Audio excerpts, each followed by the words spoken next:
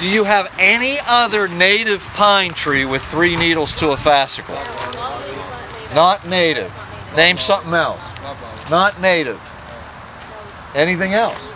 The answer, not native. The answer is no.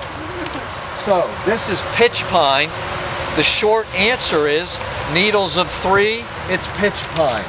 And even from over there, I don't have like binocular eyes and I could count three. I could see they were longer.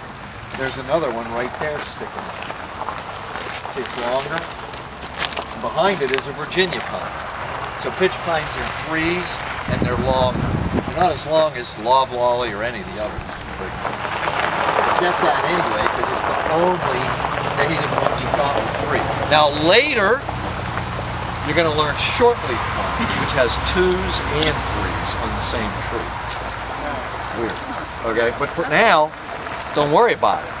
You only have this one with threes. Now we'll go look at the bark and some cones on a big one. Very flat and pretty much a repeated rectangle. Rectangles all over, but it's fairly thick. So it's pretty fire resistant uh, tree species in this part of the Appalachians. We can look up at it and again look at length. Okay, from the air, you know, we're looking at them close, and I'll look up in the sky at them. Then look at the size of the cone. The cones are about three inches long, and we'll pick some up before the day's over. Maybe you can look down at your feet, maybe there are a couple.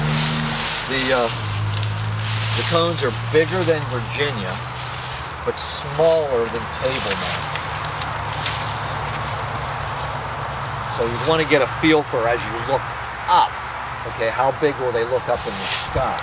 Okay, Virginia's going to be like two inches max. This is three, sometimes even four. And Table Mountain is that huge hand grenade, heavy thing. if you ever see green needles just coming right out of the trunk like this, little tufts of needles growing, and we're going to see them. Just, are just clumps of needles coming right out of the trunk from dormant buds. That for sure is a pitch pine in this part of the country again.